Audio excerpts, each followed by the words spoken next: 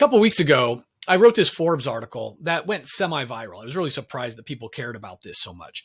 And basically, the headline was something like Move over 70 20 10 model. The three to one framework is the one to use.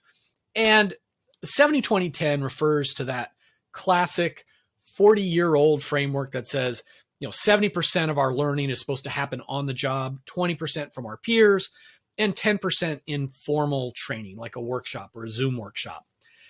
And the great thing about this is it it devalues, it de-emphasizes the workshop part, the formal learning. Uh, it doesn't have to be workshop. It could be like uh, online learning, e-learning, and and it it puts it the, the attention where it should be on the job. My problem with 70 20 10 is that it's theoretically it sounds great and nobody's applying it. All the directors of leadership development, the CLOs that I talk to, they're not really applying it. And think about yourself. If you have a budget for training and development, for leadership development, whatever it is, is 70% of your budget going to things that will help people to learn or apply it on the job? Or is it most of it going towards formal programs? And even just think about your mind share. You know, someone sends you the message, okay, we need to teach people to be more agile. We need to increase resiliency.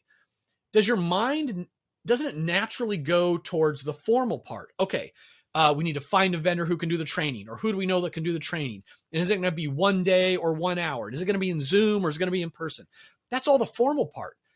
How much of your mind is thinking about what are all the on the job activities that would help people to become more resilient or to give better feedback or to take a coach approach?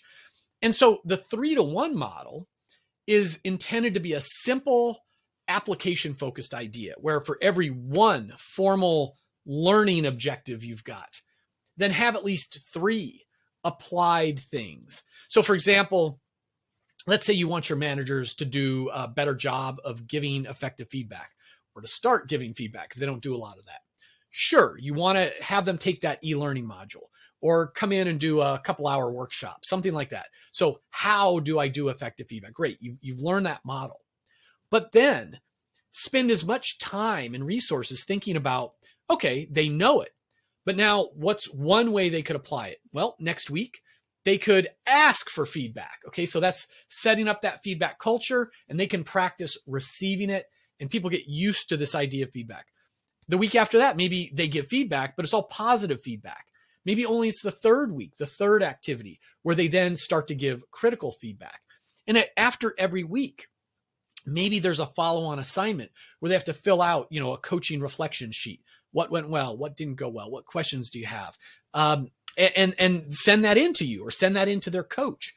It's a simple contrived example but it's to say look whatever skill you're trying to develop sure do the learning but then have three times more emphasis on the practice on the trying on the habit formation. So i hope you found some value in this and if you actually try to uh, apply it uh, in one of your own programs, let me know how it goes. Thanks.